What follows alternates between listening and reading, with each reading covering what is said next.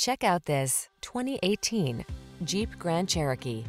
This vehicle still has fewer than 15,000 miles on the clock, so it won't last long. The Grand Cherokee keeps you safe, connected, and entertained while you explore your world in confidence and refined luxury. These are just some of the great options this vehicle comes with.